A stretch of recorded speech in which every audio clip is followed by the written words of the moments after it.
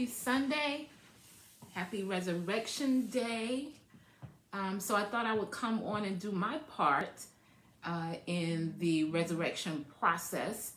Uh, what I'm going to talk about today is for those of you who may feel slightly disconnected or disembodied, uh, where you kind of just going through the motions and you don't necessarily feel like you're getting the fullness of life, like you're existing, right? Um, the way I want to express that in, in our talk today is through talking about masculine and feminine energy.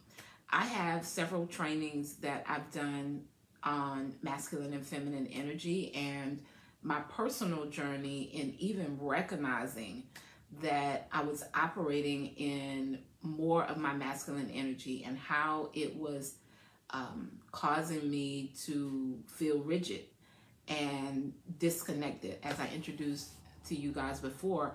The the time that I probably really noticed it was after my divorce or during my separation and divorce time. And if you've been on with me before then you'll hear this short briefing again but I think it's important for those who are coming on who may find themselves in similar situations or um, just a way to relate. So I was married for 14 years. I've been divorced now for over three. And so there were many, many things that I learned through the process of being married and uh, my time of separation and just, you know, continuing to grow and evolve I am far from new as it relates to the journey of personal growth and self development. Um, I can remember even in high school the types of books that I enjoy reading. I'm an avid reader, so I love to read. But you know, as I began to, you know, really get to a space of self reflection, I remember that I liked reading books about self improvement and all of those things. So the journey in itself is not new to me, but the season that I'm in over these last maybe three years uh, has really taken a deeper dive into, you know, self reflection, self awareness.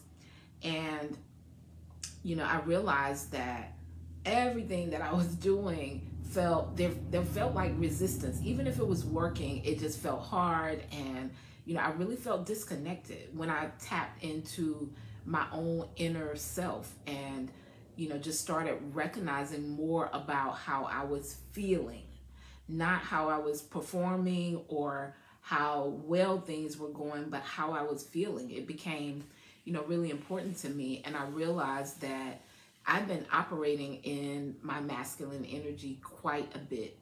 Now, for us as women, naturally, you know, we we have feminine uh, qualities and traits. Uh, as humans, we're all born with both both male and female energy. But for a woman, I find my personal experience and those who I've worked with or who have worked with me in the work that I'm doing, actually, um, I had a phone call, just kind of dropped my thought just for a moment. But uh, the work that I'm doing, we I find that that masculine energy, when it's the first energy we see, um, or that's existing for us as women, it doesn't really allow us to be truly connected to to life and what we're doing. And so I thought that I would come on today and talk about it from an entrepreneurial perspective. Now, if you aren't an entrepreneur, maybe you're in corporate America, um, stay at home mom, this will still resonate for you as well. I, um, one of the things that I realize about where our culture is and what our culture really heavily supports is the hustle hard, go hard. Um, it was pretty much a movement for quite some time and I was very much a part of the movement, okay? So I operated more in my masculine energy for quite some time. So to start, masculine energy is more of a do energy. It's like a penetrating type of energy. And feminine energy is more about receiving. And I lost or my femininity had been compromised because I've been in relationships where I didn't feel safe, so I felt like I had to do. Um, and oftentimes, that is one aspect that causes us as women to go into, you know, this hustle hard mode. I'm going to get it done. Uh, we almost feel like if it isn't hard, it, you know, it ain't for us. And although our culture was like really heavily, still are in some sectors, um, I don't see it as much because it's simply not my being at this time. And so I'm not attracted to it. I'm not attracting it. Even the things that I um, watch or, or listen to, it's so amazing how we shift from the inside how things externally that we see are, are changed as well. So our perspective and everything changes. but just as much as there is a side where there is the hustle culture, there's also another side that has risen up, and that side is more on spirituality and you know being aligned and in flow and all of the things. And I believe that both of those aspects are needed in our life. And so for me, I am at my most comfortable when 80% of my energy is reflecting my femininity or my feminine energy and 20% masculine. So you do need the masculine, right? Because there are things that we have to do in life, even parenting or uh, you know, things that running errands, different things of that nature. They're just simply things that we have to do in our lives. But our being, the way that we're doing it, really impacts how we are enjoying life or, or are able to enjoy life from a full circle perspective. Now, stay with me for just a moment. So, one of the things that I noticed was it felt like I had like this wall up. Um, and I, I did have a, a wall up, but I mean, I could actually feel it once I started paying attention to my body and how it's actually feeling. There was like this stiffness internally that was transpiring for me. And whenever there is this feeling, there's like this disconnect. You're not really connected to what's transpiring in life. You're doing, you're going through the, mo- the emotions, you're existing, but you're not really feeling it and, and embracing it. And I realized that, you know, because I was operating so much in my masculine energy, go hard, get it done, all of those things, I wasn't taking time to actually feel and really be connected to life. And so I thought I would come on and and share this perspective from two ways because for as much as there is the hustle culture, again, there is the spiritual um, entrepreneurs or the heart space entrepreneurs. And it's so easy to fall on either side and not have like this healthy balance that's needed. This is why I titled this particular training The Starving Artist and the Booked and Busy Boss Babe. Because both of those are energies that you know that particular archetype is operating their business and more than likely their life is reflecting you know the same so i'm going to um, i'm going to give some differences so that you can be aware of you know how that may look if if you're an entrepreneur and you know let me know if you identify with it so when we think about the starving artists, we think about, I always think about Picasso and things like that, although they were wealthy. Okay, so they weren't starving artists. But I think about painters. But most of the time, when we, the work that we do in the world is our art. Would you guys agree? Put me in the comments if you agree that what you do in the world is your art. You know, now some people may not have moved to that space or of feeling that way about the business that they're doing or what they're doing in the world because sometimes it's just trying to get cash, right? But for the most part, you know, regardless of what it is that you do as a realtor or a doctor or a nurse or a hairstylist, a salon, what you do is is an art. And so I wanted to use the starving artist as one of the examples and just kind of share the mindset, the heart space of the starving artist who's in business and why this is probably transpiring for them. Remember, keep in mind that I shared that, you know, masculine, you know, the differences in masculine and feminine energy. If you're on with me, say hello in the comments. Let me know who's on, who I'm connecting with. Do me a favor if you find value and you think someone else would find value in this um, conversation that we're having tag them or share the video out. Um, I'll do a quick introduction at this point for those of you who are joining who just popped in. I'm Tanya Wilson. I am a master life and business coach, and I help women get their whole life.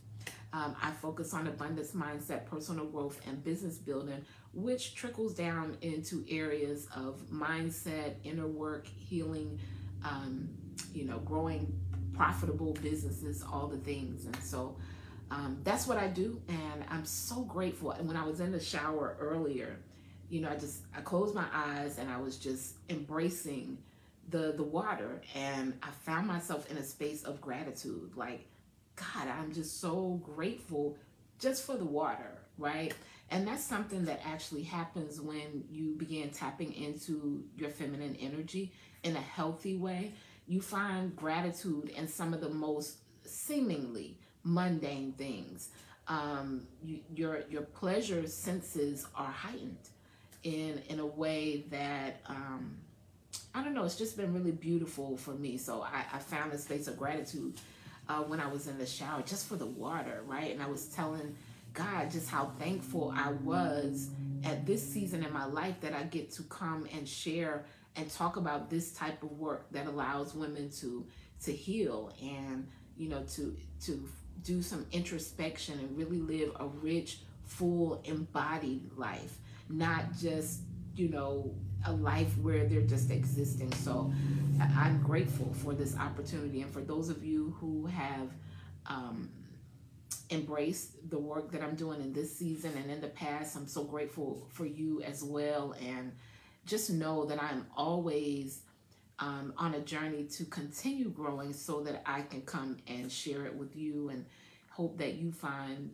um, a sense of awareness and and um, and growth in the process too. Okay, so the starving artist and the book and busy boss babe as it relates to masculine and feminine energy. So the starving artist believes that um, the struggling starving starving artist believes that struggling simply makes them better.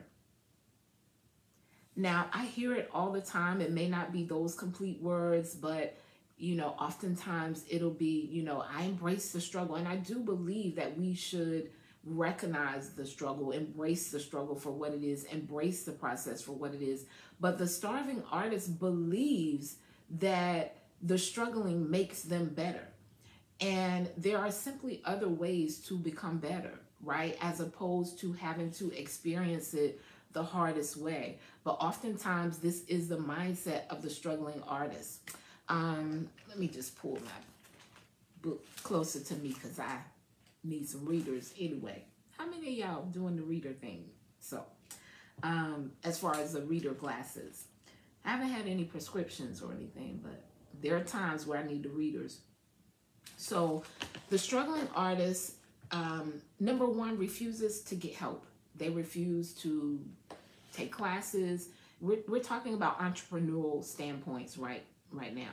So the struggling artist just feels the struggle is just this just gonna make me better. It's kind of the thing that they've told themselves. They refuse to take a class. They refuse to learn about finances. It's just I don't know. It's this thing on the inside. is uh, an inherent belief that they have that the struggle makes them better. And I just want to embrace a space of sharing that we don't have to do the struggle life, right? We, we don't have to do the struggle life, but this is what the starving artist believes. The starving artist also believes um, I don't need training because I'm brilliant. Now, this is such a, a tricky space because there are so many gifted and talented people who um, never get to the Picasso level because they are already gifted with something and talented with something.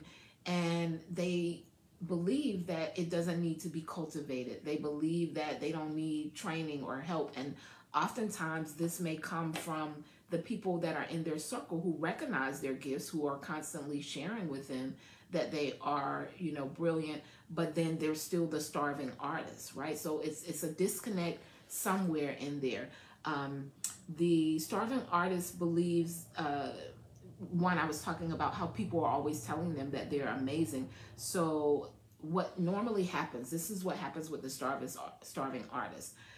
They will give away their value, their gifts, and their worth. And oftentimes the payment is simply affirmation. So when they're lowballing or, you know, just giving their stuff away for free, no strategy about it or, or anything, they're it's normally because somebody is telling them that they're brilliant and they're doing it in exchange for the affirmation, but they're still the struggling artist. These are some um, distinct things about this particular archetype, this particular type of entrepreneur. And it's often found in uh, the entrepreneurial space where it's a heart heartpreneur or a purpose driven preneur, someone who deals with uh, spirituality or um, inner work or things similar to what I do. It's so easy to fall into that starving artist trap and, you know, just somewhere, you know, you just kind of end up giving all your stuff away. This is the starving artist, right? Um, they're, they're living for the verbal affirmation.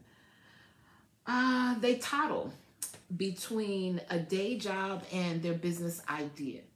Now, it's, it's really easy, right? Because I agree that depending on the space that you're in, your job can fund your business. But most of the time, the starving artist is still thinking that if they just keep doing it how they're doing it, they'll be discovered. And so their focus is not where it needs to be as it relates to their business. So they're all the way in an unhealthy feminine energy. This is the comparison that I'm trying to uh, display for you all. Hopefully, is is registering. So the starving artist is oftentimes in an unhealthy space of feminine energy. So they have no masculine going on. They just, you know, living in their craft and free flowing and, you know, just randomly doing things, all the things, right? Because that masculine is the doing. The masculine would be the systems. The masculine would be um, a container that can hold the big dream as it relates to whatever that income goal is or, or things of that nature. But the starving artist is just kind of doing their art. They're so far in their feminine energy that they don't have the healthy balance that's needed. Now, and we're talking about business here because you know you are your business. And oftentimes, this is a space that even health coaches and things of that nature may find themselves in. There may be a guilt because they're helping people, you know, maybe because it's not about business. You know, they're not helping people with a business necessarily. They may be helping them with their health or um, mindset or inner work. It's, it's often becomes a starving artist. They're just kind of giving things um, away. So they have limiting beliefs about charging for their value. This I see this a lot of times with um, ministers who are doing things that they're not at the church pastoring. They they write a book or um, they have a special thing that they do. I'm not talking about like prophesying or things like that. I don't believe there should be like a charge for those things, but uh, ministerial gifts you know oftentimes they have other gifts and talents and they there's this thing that they don't feel that they're worthy of of charging for those things. The starving artists they believe they don't need a process. They could just because they're in this free flow state right? It's just way too far in the feminine energy to build a profitable business. Now, for those of you who are in corporate America or in your everyday life, you may see the same behavior where eventually what happens is the starving, starving artist gets really really exhausted from the whole process. They begin resenting people but really they didn't have the masculine containers that were needed to bring in the income. It's no pay button or if they have a pay button it's difficult to get the money to them it's there's no real process or firm masculine container that can hold whatever it is they desire so this may be uh, the case uh, slightly where you have this big goal um, financial goal for your business, but you don't have a container, you don't have a, a product, or um, you don't have anything that could hold that amount of revenue. And if you are not offering premium services and you have smaller um, amounts that you're charging for your services, you don't have the systems in place that could bring that much in. So the masculine part of it is normally missing for the starving artist. So I shared that for me in my personal space and most of the clients that I work with, there's a comfort zone where they're, you know, the goal is to get to like that 80 20 space where 80% of you is operating in your feminine side. And then you have that strong masculine 20%, that container for the things that you need to do. But the way the world has been dictating things to us, you know, the hustle, the hustle hard, chase the bag, no sleep, all of that stuff. I mean, there's something I feel even when I'm saying it that feels hard and heavy because I remember, right? Um, but the world has taught us to do that. And for us as women, when we are operating in that space, we're normally not at our best because there has to be some resistance and like these um, this armor and all of these things up that don't allow us to receive. So this is often the space that the booked and busy boss babe operates in. She operates mostly in her masculine, if not all in, in masculine energy.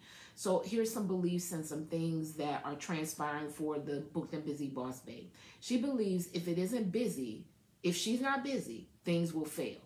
So she has this inherent belief that if she stops for a moment, or if she isn't super busy, if she isn't running from one job to the next, from one place to the next, if people aren't always calling her, if she isn't always doing any things, if she isn't always volunteering, if she isn't on every committee, she feels that things will fall apart if she's not busy. So a lot of what's going on with the um, booked and busy boss babe is she's often in her head space and not her heart space. So when we are healthily aligned or aligned in a healthy way with our feminine energy, we're able to tap into our heart space and it helps us to really build businesses that are fulfilling and live lives that are fulfilling. There's this different, deeper connection to um, the cycles of life and the experience of life when we've tapped into a healthy space of our feminine energy. So the booked and busy boss babe, she'll work 12 to 15 hours, always working. She, home she working, off she working, in the car she working. She's always working. And in her mind, this is the only way that she can get things done. She thinks that her business increases her social, her busyness, not her business, but her busyness increases her social value. She believes that her busyness increases her social value. So prior to me coaching and consulting full time, I owned a brick and mortar service based business, and my the demographic or the women that I served were very ambitious women, highly driven, ambitious women. I attract them. I still, at my core, am ambitious. I've just learned how to operate in my feminine in a way where that ambition doesn't feel hard and it's just completely different things flow. Um, I'm in a receiving space, so I give and I receive and I understand the receiving. And the boss babe, the booked and busy boss babe, often doesn't know how to receive. Yeah, she's getting money for what she does, but I mean, like, really embody um, receiving and being given things. So she thinks that her busyness increases her social value. And you know, one of the things that I noticed was most of the women were on tons of committees and they had a lot of commitments to organizations and, and all of those things. And, you know, I kind of sneakily um, would have conversations with them about decluttering um, and, you know, making commitments that were more aligned with where they are. Some of those committees may have been things they had been doing for a really long time and they had evolved and they were no longer even in alignment with those organizations anymore. Um, and I'm not saying that they felt that their busyness gave them value, but I'm just giving that as an example because sometimes that is the place where that busyness comes from, where that um, extra volunteering comes from, where that if my schedule isn't Katie bar the door, if I haven't been invited to 50 different engagements, if I don't have 5,000 things to do, you know, I don't feel valuable. So I want you to take some time and check if you find that you're that booked and busy boss babe and you are committed to a lot of things. I want you to take a moment and sit with it and really ask yourself, am I, what is my real reason for doing this? And I'm not saying that we shouldn't commit to causes and things that we are um, align with because I do as well. But I do think it's important that we evaluate like the why we're doing some of the things that we're doing and realize that it won't fall apart if we're not there right? They they will choose someone else and sometimes it's time for you to pass the torch. Um, anyway the but the um, booked and busy boss babe is all, often also a perfectionist which you know can also come from a space of you know that's how they receive their value. Um, i believe that there i believe in a spirit of excellence but it's completely different from a perfectionist. So a perfectionist will i mean it has to be so perfect and they rarely ever get things done to the full that they desire because it's never finished. It's, it's just like never finished. Um, the booked and busy boss babe is often a cheerleader for the hustle and the busy culture um, even in corporate America, she rarely even uses her vacation time. Like she rarely even uses what's given to her, what's offered. Um, so vacations are because I just got to have one and not necessarily because I'm scheduling this in and this is the time that I deserve those things. But she often um, doesn't even use her vacation time. As an entrepreneur, it's sometimes years before she takes a real vacation. Now, I mean, if you followed me for a long time, you know my story. I'd hit probably about my 15 year mark, and I had never had a Saturday off. I would travel and I would go out of town and I would do things, but I was going to work that Saturday. I, even if I went in like super super early just to you know fit some people in before I went wherever I was going to go because my mindset was okay this is one of the busiest days of the week um, and I just need to be here and my clients need a Saturday appointment and all those things not realizing that my busiest day of the week was whatever day I wanted my busy day of the week to be right?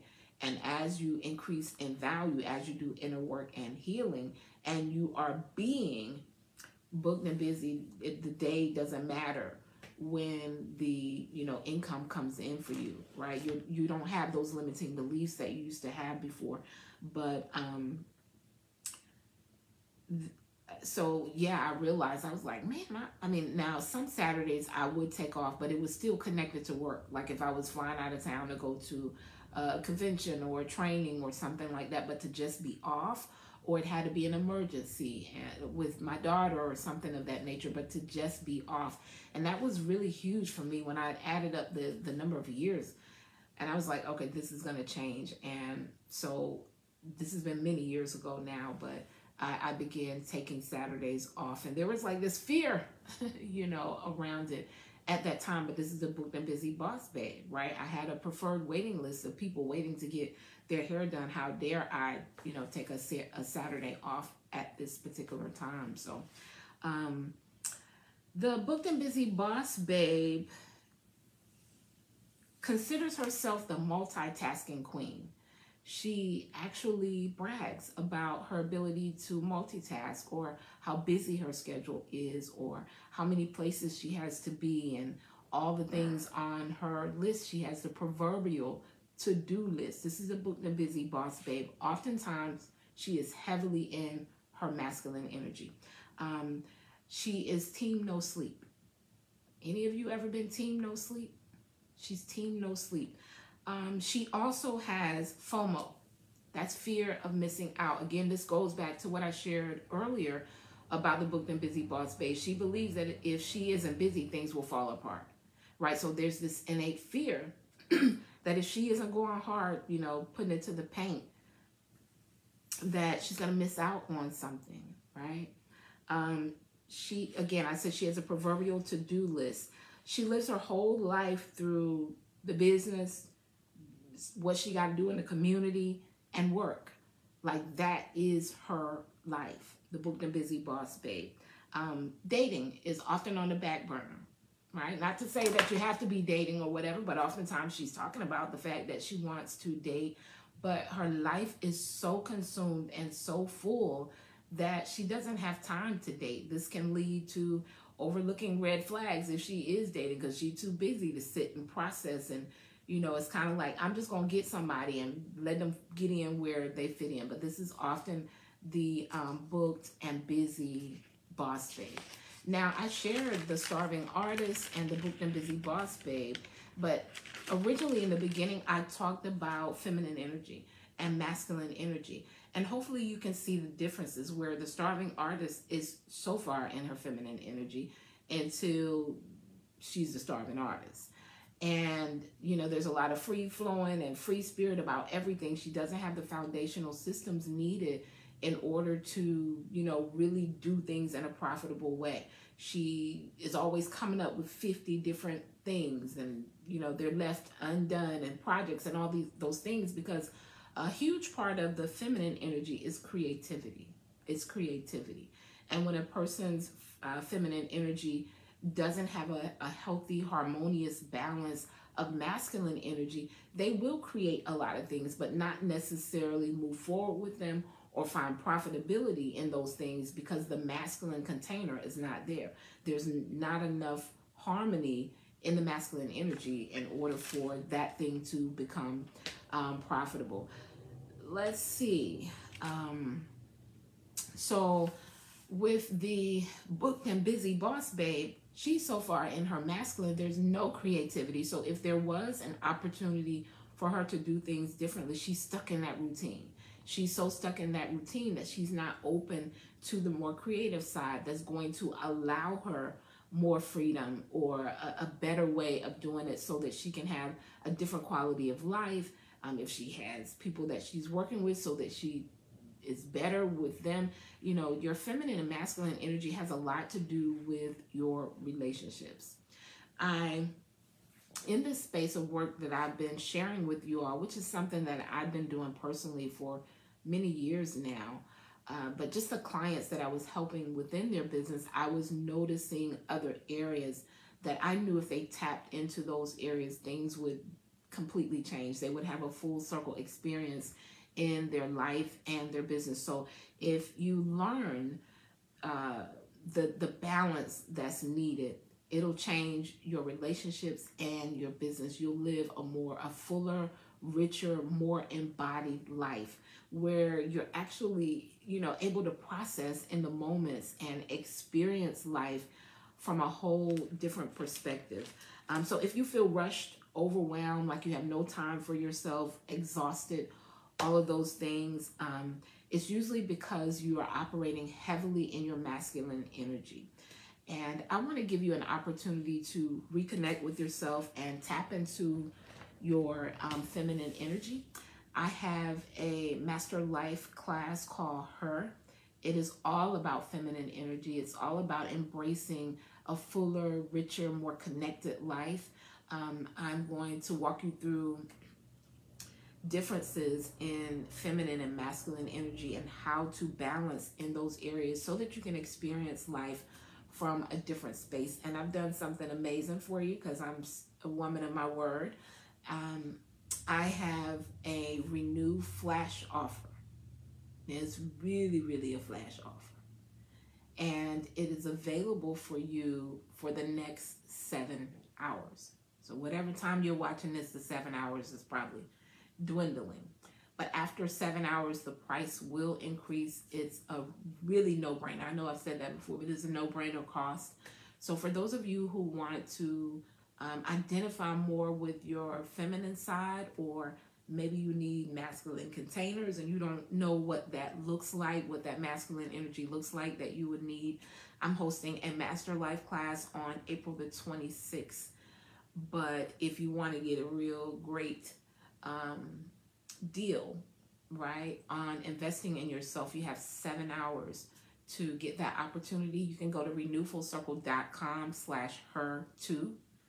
Renewfullcircle.com slash her two. And that's the number two. You got seven hours or a little less for those of you who are ready. And you know this is what i need. I need to feel more connected.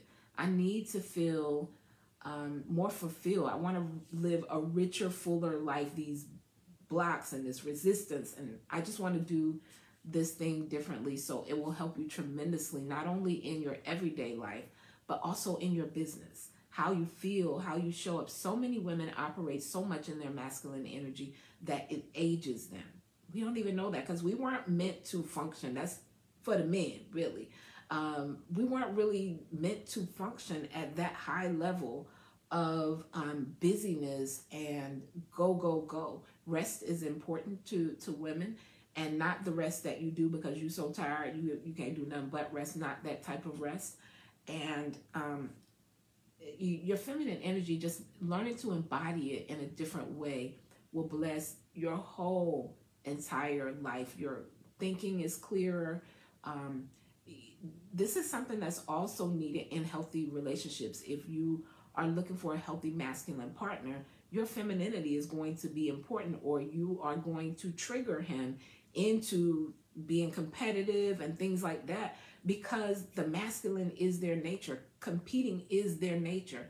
And oftentimes, as women, when we're operating in our masculine energy and we're not aware of it, we actually trigger them into some of that, you know, competitiveness that we may see and feel that happens in relationships. Also, why they be calling us bitter sometimes when, you know, sometimes we not bitter, we just die of stuff but I believe that once we've gone through the stuff for quite some time, it does impact us internally and it does cause us to um, operate in more of a masculine energy that we may not be aware of. So I'm excited about this um, particular opportunity. I'm also going to add, and I thought about this earlier, I'm also going to add a segment on um, embracing a feminine style of dressing for you not for me, for you. What's ideal for you. So you'll kind of be able to figure that out as well. Those are, that's just a little bonus that I'm going to do. I'm actually going to um, take that concept and do something else with it at another time um, in a collaboration with someone. All of this was a download added to this um, on today, but um, you guys are going to get like a little peek at what I'll be doing later inside the Her Master Life class. So go ahead. You got seven hours, maybe six, five and a half by now. I'm not sure.